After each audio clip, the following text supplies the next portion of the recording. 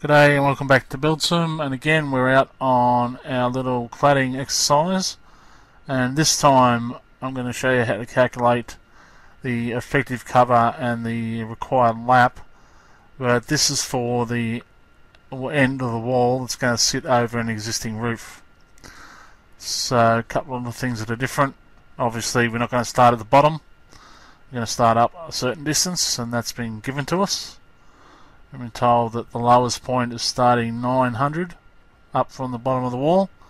And we know that the height of our wall was 2.4 so obviously we need to work out what the height of our wall is before we can start. As far as calculations go, we know that we've got a 230 board, we know that we've got an uh, anticipated lap of 25 mil, and then our effective estimated effective coverage 205 mil. No, that's the same as the last two examples. Um, to work out the number of boards, we need to know the height of the wall and divide that by our estimated effective cover.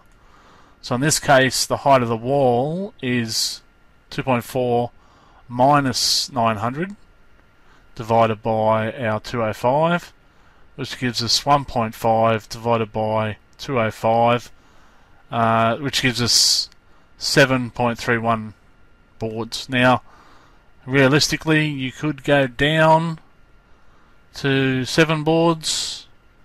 However, in this example, I've chosen to go up. Doesn't matter. It's an extra board.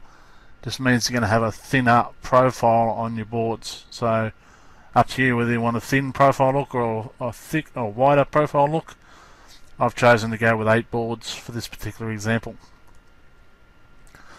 Uh, so work out the length, again, length of the wall, 2.4.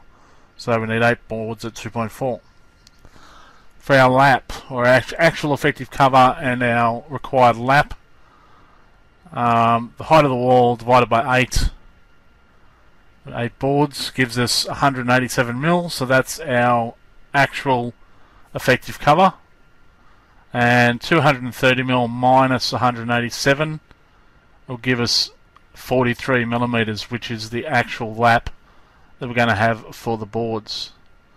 So we end up with, uh, we're looking at 87 mil of the board, and they overlap by 43 mil as they go up. And again, you're going to have to rip the lap off, or 43 mil off this top board, so every board looks even all the way down to this point. So there you go. That's how we work out the actual effective cover and the required lap in this situation.